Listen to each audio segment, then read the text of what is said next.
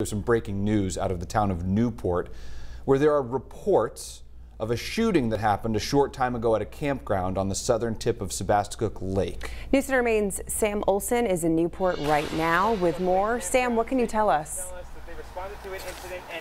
I'm here at Sebasticook Lake Campground where dozens of officers are on scene of what may be a person with a gun. Newport Police, State Police, and Maine game warders reported to the scene, and we are told the scene is secure and quieting down. The investigation is underway for what happened here, and we will bring you the updates online and tonight at 11.